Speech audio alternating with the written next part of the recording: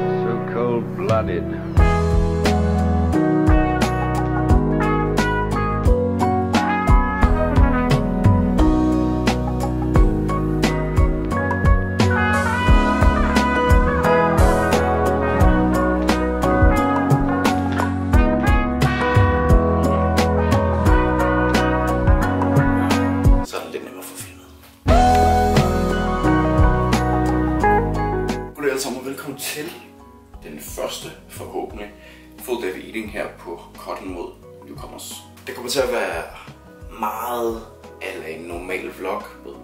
Træning. Det kommer til at være lidt, lidt andet. Men fokus kommer til at ligge på, øh, på hvad jeg spiser. I kommer til at høre makroen på måltiderne og grunden til, at jeg har valgt lige præcis de måltider. Og hvis I nu skulle have nogle spørgsmål omkring den måde, jeg spiser på, nogle af de valg, jeg tager, så skriv meget ind i kommentar. Så skal jeg nok få svaret så hurtigt som muligt. Men øh, det skal vi starte med nu. Det er noget havregryn.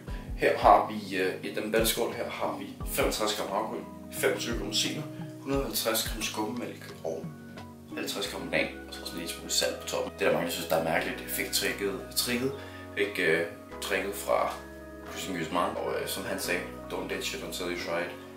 Det er fandme godt. Makroerne kommer til at stå på skærmen, og det er bare protein, fedt, kulhydrat, og hvor mange kalorier der er i øh, måltidet. Så er vi på vej ned øh, for at blive klippet. Mit hår er... Ja, det er svært at forklare. Ikke flot. Skal vi sige det på den måde? Og så også på vej ned til en anden ting. Øhm, nu har, hvad hedder det, og det er faktisk et godt tip, jeg gerne vil give folk, der gerne vil prøve at spare nogle penge øh, på mad. Øhm, supermarkedet, der ikke har åben i hele dagen. For eksempel her til jul. Øhm, Faktornet hos os havde ikke åbent øhm, fra kl. 15 den 24. Så er det lukket den 25. og den 26.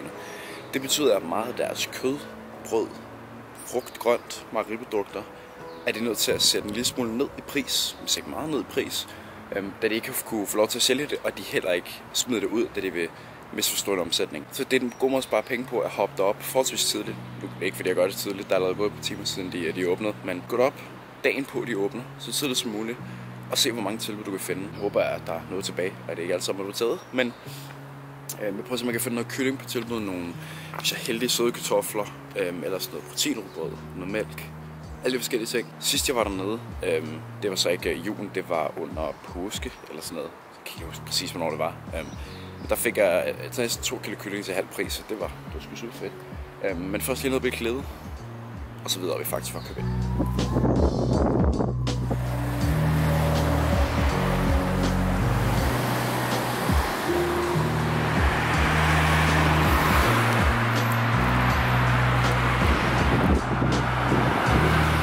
Så røg håret af, og fuck, katten det føles rart.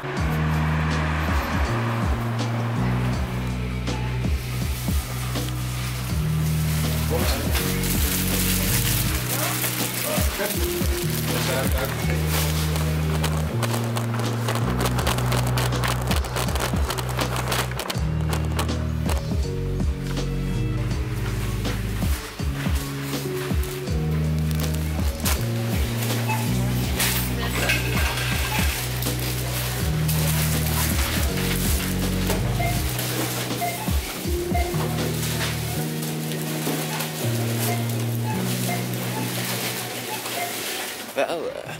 Rigtig, rigtig lækker, som I kan se på mine øh, knæbende øjne. Jeg går direkte mod solen. Det startede med at være en smule, øh, smule skyde. Og det er kedeligt. Nu er det øh, struskin, hvilket er fandme dejligt. Så nu skal vi hjem. Jeg skal lige have noget at spise, inden jeg tager på træner. Vi skal træne bryst. Jeg ved ikke, der er blevet filmet rigtig meget bryst her for tiden. Øhm, men det er altid den dag, jeg ender med at, øh, at filme det på min push i dag. Så der har været en masse bryst og skulder og triceps. Jeg har desværre ikke rigtig noget filmet fra andre træninger. Så bundet tung bryst og hypertrophy til bryst, og så bare hypertrophy til skulder og triceps. Jeg skulle tro, at man, når man har fået et mindre kamera, det var nemmere at holde øh, i længere tid. Men det er slet ikke. Øh, syge fuldstændig til. Men øh, jeg skal i hvert fald hjem og have noget at spise. Så er vi kommet hjem. Håret blev øh, lidt kort, um, men nu skal mig sådan her, eller sådan her jeg, øh, først så her om 10 dage, og så forhåbentlig vokser det ud og bliver den længde, jeg gerne vil have. Så øh, nu skal vi tale om noget mad, hvis du Mathias han kunne rykke herover i gang. Min cameraman. Her har hvad vi skal bruge. Det er tre stykker af det her dejlige proteinbrød øh, fra Kobær. Jeg spiser rigtig, rigtig meget af det her. Det eneste, jeg har fundet ud af, der er negativt ved det her, Ja, den siger her på, på den her lille uh, plastik at det, at det sidste man kan bruge det er den 31. Det passer ikke. Det her, det kommer måske, det er den 27. i dag. Det her, det kommer måske til, måske, ah, det passer måske meget godt med, med 31. Men når jeg har haft det nogle gange, så har det været blevet for gammelt og fået sådan nogle hvide plamager, og det smager meget gade tre dage før den sidste anvendelsesdato, og det er sådan lidt semi, når det koster 20 kroner, og faktisk er forholdsvis dyrt rugbrød i forhold til, hvor meget du får. Um, så det skal vi have tre skiver af. Så øh, jeg bruger det her smør, der hedder Letta, um, øhm, som er det, det, det, det er som en light form for smør. Man kan godt få lidt smør. Det her det er bare billigere, og jeg synes, det smager bedre. Det har sådan, jeg kan lide hård smør, og det her det er altid blødt, uanset hvor lang tid det står i køleskabet, så det er rigtig fedt. Øhm, der er lavet på rapsolie og kernemælk. Så yes, det skal vi have. 15 gram af står der i min kostplan, men jeg har lavet en kostplan over de makroer, jeg har sat til mig selv. Øhm, og det ene måltid er det her. Øhm, det prøvede jeg for at prøve at spare nogle penge, så jeg på en måde kunne købe mere i bulk, så det kunne holde lidt længere tid. Øhm, så det her det er en af mine, øh, mine måltider. Øhm, det siger 15 gram af det her, det har jeg fundet ud af er lidt for meget, så jeg tror, vi bruger en 10-12 gram i stedet for. Øhm, senere bruger jeg så måske en lidt smule mere det kan være, at jeg spiser lidt smule pasta, spiser lidt smule havregryn om morgenen eller et eller andet, øhm, bare for at rense sig til klor. Så 10-12 gram af det shit. Kan du huske dengang, man synes, det var svært at spørge brød, Mathias? Mm. Det er fandme mærkeligt. Er nogen, synes, det er svært det? Synes jeg stadig. Ventet ud med 10 gram af smør. Yes, så tager vi tre skiver af det her, som meget gerne skulle komme ud til cirka 40-45 gram. 43 gram, det passer faktisk godt, så det er lige midten. Så en på hver, og, og lidt mayonnaise. Jeg kan selv bedre lide normal mayonnaise, men for at spare kalorier og masse fedt, jeg kunne godt så bruge lidt mayonnaise. Så det eneste endnu, endnu til ting, faktisk havde let en gang, det har de ikke mere, så nu er ned i noget netto for at købe det. Det er super irriterende. Men cirka 15 gram af det her. Jeg har faktisk skrevet normal mayonnaise i min kostplan, så jeg kan cirka tage 18 gram i stedet for, hvilket så også det, vi kommer til. Så på med vægten. Andet tip. Hvis det, I skal bruge, skal over på noget, så stille tingen, I tager det fra, på vægten. Start den forfra, så den går i 0. Øhm, så spray, det giver mening. Så sprøjter jeg det på, det lyder også mærkeligt. Øhm, og så sætter jeg det på igen, og det den er i minus, det var meget jeg brugt. Lille rødt tip for mig. Jeg håber, jeg kan ramme på gefylden her. Det er det, når man har gjort det sådan par år nu, så tror jeg faktisk, at jeg lægger håndledet med mængden af mayonnaise. Det er fandme mærkeligt. Ah, jo, nej, jeg tror det er for lidt. Det er det også. Nej, det var det ikke. Hvor kæft, hvor er jeg god, mand. 16 gram, let mayonnaise. Og til det her, der tager jeg et glas kakao med 350 ml for at få en masse kalorier og en masse kulhydrater i min travletræner. Så jeg, spiser, jeg drikker altid et, minimum et glas kakao, inden jeg travletræner for at få de ekstra kulhydrater, så jeg har til træningen. Så det her, det er anden mål til dag, og makroerne kommer som sagt til at stå på skærmen. Iha! Jeg har lige øh, læst et kvarter. Nu er vi begyndt at gøre noget mere, tror jeg. Jeg er ikke færdig med den her endnu, men jeg er i gang med at læse Ask Gary Vee.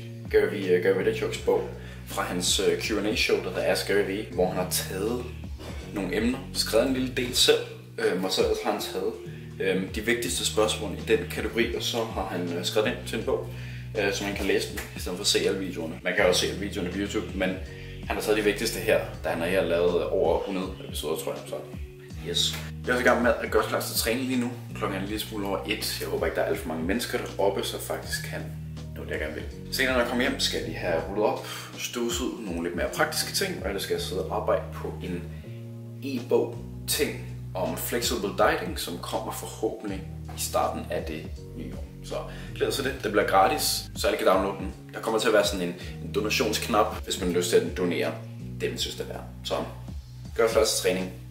Ses som start.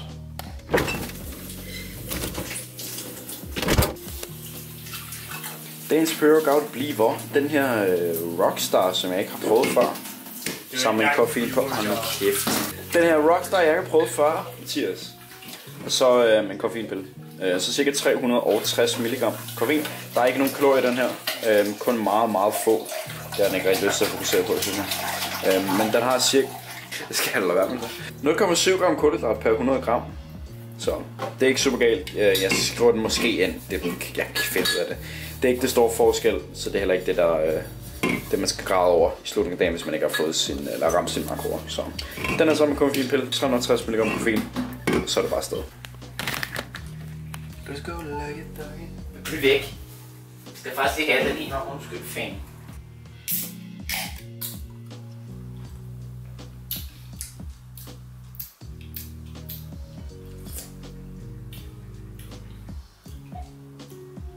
6,5 ud af 10. Den er ikke, øh, den er ikke dårlig. Den er heller ikke, øh, den er heller ikke super god.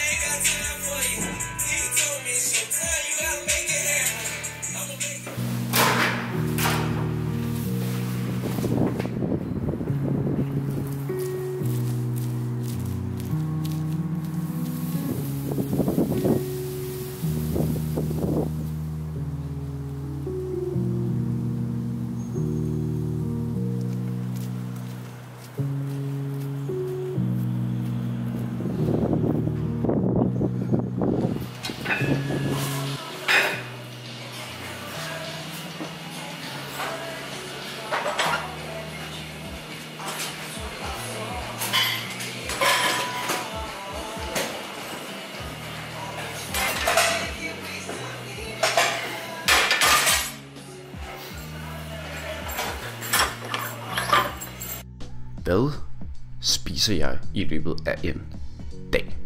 Her på min kort mod nykomst 2018, og det er det, vi skal snakke om i dag. I har allerede set to af måltiderne, men vi skal lige øh, gå lidt mere in-depth i dem og snakke om for det første, hvorfor jeg gør, øh, hvorfor jeg spiser de måltider, øhm, og så også lige resten af de måltider, jeg har. Så nu kan vi lige gå igennem min, min, øh, min meal plan, kostplan først. Jeg starter ud om morgenen ved at spise 60-65 gram havgryn, på det der putter jeg 25 gram rosiner og cirka 50 gram banan. Det kommer an på størrelsen af bananen.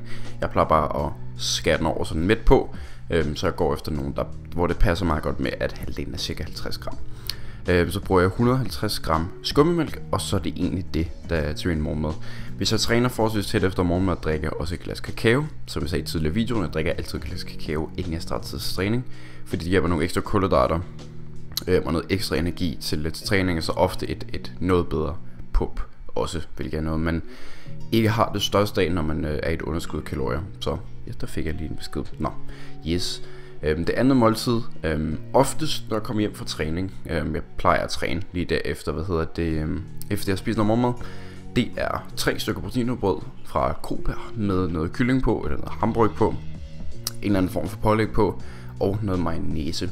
Øhm, og så en lille smule af det der øhm, low fat øhm, smør, øhm, som ja, bare for at det ikke er super tørt. Øhm, jeg kan ikke så godt lide ikke at spise brød med smør, så det er derfor, jeg har valgt den øh, laveste fedt løsning. Så øhm, det er sådan den første, man kan sige, frokost. Øhm, og så har jeg et mellemmåltid bestående af tre hele æg og æggeviden fra et æg på to stykker toast med en lille smule smør. Det samme smør som før. Øhm, aftensmad, der spiser jeg. Det, det er nok det, der varierer mest. Øhm, protein. Øhm, sursen, øh, hvad hedder det, kilden. Proteinkilden er oftest kylling eller hakket oksekød, øh, men kulhydratkilden skifter oftest. Jeg startede med at spise pasta, indtil jeg fandt ud af, at øh, jeg faktisk synes, at kartoffel lavet i ovnen med en masse krydder på faktisk både smager bedre, øhm, og har meget mere volumen, altså man kan spise meget mere af det for samme antal kalorier. Øh, så der spiser jeg lige nu kartofler, kylling, øh, og så en lille smule øh, mayonnaise, og så en øh, nogle gange en, en salat til siden, hvis jeg føler mig lidt sulten. Øhm, ofte så om morgenen, hvis jeg siger til mig selv, at jeg gerne vil have en salat til aftensmad også, så spiser jeg kun 60 gram havgryn, og jeg sætter en lille smule ned. Øhm, man kan sige smøren, jeg bruger, eller mayonnaise, jeg bruger, eller et eller andet, bare så jeg har en lille smule flere kalorier at arbejde med, øhm, da der faktisk også er noget, nogle kalorier i salat. Ikke mange, men bare en, øh, en lille smule. Så det I nok kan høre, det der måske mange, der, der vil spørge om, det er, hvorfor jeg drikker så mange af mine kalorier. Øhm, jeg drikker to glas kakao, og så drikker jeg en enkelt glas skummemælk øhm, til aftensmad. Det står for cirka, jeg tror det er 10-15-20% af mit proteinindtag. Øhm, så det er forholdsvis meget af mit protein. Øhm, men der er der så nogen, der hvis måske vil spørge, hvorfor jeg drikker så mange af mine kalorier samtidig, når jeg er på en kort, da det ikke mætter særlig meget i forhold til, hvis jeg havde spist noget i stedet for. Og det er et øh, godt spørgsmål. Øhm, jeg har, man kan sige, jeg ved godt, hvorfor jeg gør det. Øhm, og det er lige nu, der er jeg ikke så sulten. Det er stadig i starten af korten. Jeg er ikke, jeg går ikke sulten i seng eller noget. Det kommer, hvis jeg kommer til at øh, spise måske lidt tidligere end plejer at gå endnu senere i seng, end jeg plejer, hvor der så går de der 5-5 minutter ekstra, som jeg ikke er vant til. Men ellers der går jeg ikke sulten i seng.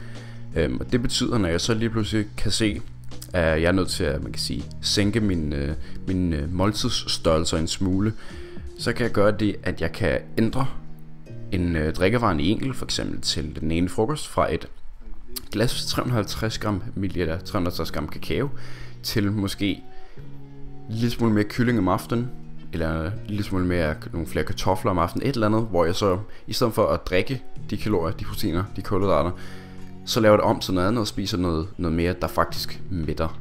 Øhm, det, det er min plan for lidt senere ind i kotten, øhm, så jeg stille og roligt kan drikke noget mere vand til øh, min måltid, og så stille og roligt fjerne alle det, min, man kan sige, væskekalorierne, eller kalorier, jeg får igennem øh, noget, jeg drikker i stedet for noget, jeg spiser. Så det var, øh, jeg troede, jeg havde mere tid, end jeg, havde, øh, end jeg faktisk havde. Jeg havde 5 minutter, men det er allerede gået. Så det kan godt være, at jeg lige snakker lidt mere om den lidt senere i en anden video, men øh, tak fordi I gad med.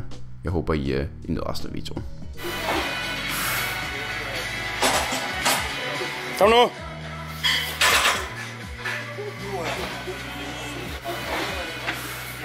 Kom så!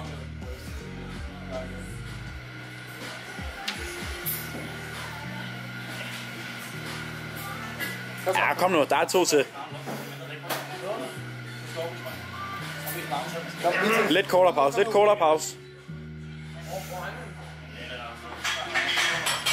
Kom nu!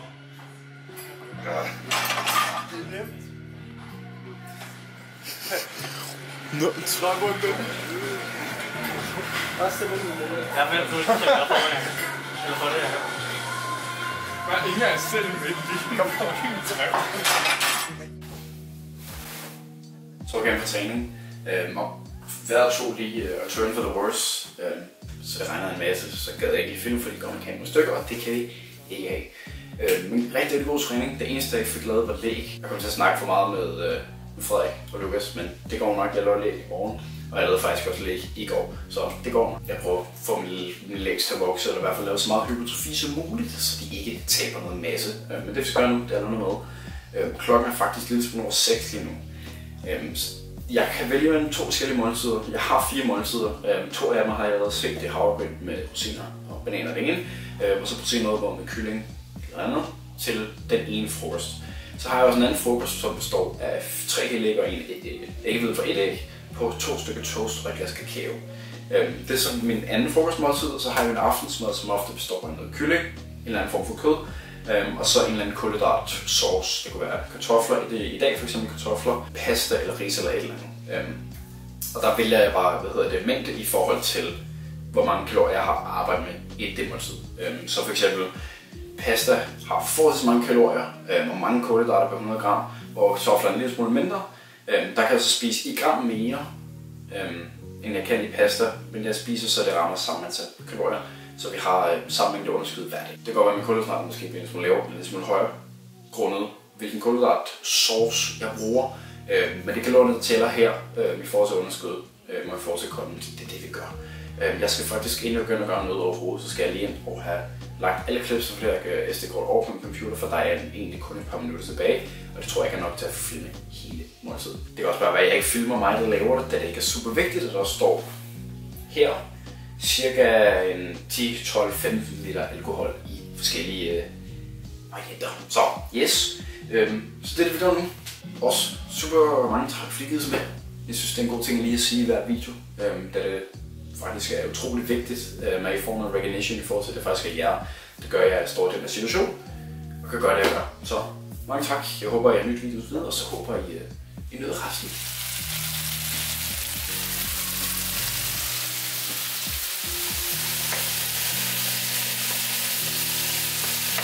Resten så bliver et øh, mindre kylling og noget smør på.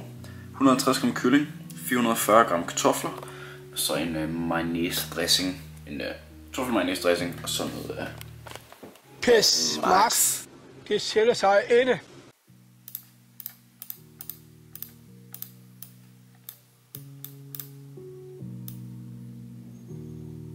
Jeg sidder lige og er i gang med at redigere en øh, lille kort video til Instagram fra en øh, PR, jeg ramte juleaften. Øhm, 5x3 med 100 kilo post bænk, hvor jeg fik øh, 4 reps i sidste sæt, altså 5. sæt. Øhm, det er sådan en vanvittig stor PR i forhold til både reps-mæssigt med den vægt, men samtidig også bodyweight-mæssigt. Øhm, jeg har aldrig fået mere end 3 3 100. Og da jeg fik det, der var jeg cirka 74, lige under 75. Så at få 5 gange 3 og 4 reps i sidste sæt, når man vejer 72,4, er en kæmpe pære. Øh, hvilket også er super mærkeligt, at til min bænk stiger mega meget, mens alt egentlig stille og roligt er på vej ned, eller cirka jeg holder den øh, styrke, jeg havde før øh, med min bænk, den, den bliver bare ved med at stige. Det er fedt, øh, og det gør også 120 kilo bænk efter post øh, show noget mere muligt, hvis jeg bliver ved med at holde den her, man kan sige, fart, jeg har nu. Så jeg regner ikke med, at jeg bliver ved med at køre så hurtigt eller så lang tid, men hvis jeg kan holde min stykke bare, hvor den er nu, så har jeg en rigtig stor chance for at ramme 120 bank de første to måneder, jeg er efter showet. Så det glæder mig til. Men øh, ja, lille op det for mig. Øh, bagefter skal jeg lige sidde og redigere noget på den her video. Øh, lige har fundet, sat makroerne sammen, så jeg er sikker på, øh, hvor mange kalkuløjer og det hele, der er i hvert måltid, så jeg kan skrive det ind til videoen. Og det gør jeg også ved mit, øh, mit nye lille skrivebord her, øh, som måske jeg har forvist, som gør det meget nemmere at arbejde, end at ligge, øh, end at ligge derovre i sengen. Så ja, skal bare arbejde. Inden jeg løber top for plads på SD-kortet og batteri på kameraet, så vil jeg sige øh, mange tak, fordi I med. Jeg håber, øh, videoen har været hyggelig, spændende, sjov, entertaining, alle de der lækre ting. Øhm, og så håber jeg, I... Jeg fik ikke snakket så meget om, hvorfor øh, at spiser min forskellige måltider, men det kan godt være, at jeg faktisk gør det over træningen, så god idé til mig selv lige der. Husk det, når jeg var, der sidder rigtig gerne. Øhm, så ja, mange tak fordi I er med. Husk at like, hvis I kommer så langt. Husk at subscribe, hvis I kan allerede det. Så vil jeg gerne sige mange tak fordi I er med. Hej. I don't really care if you cry. I don't really should've never lied. Should've saw the way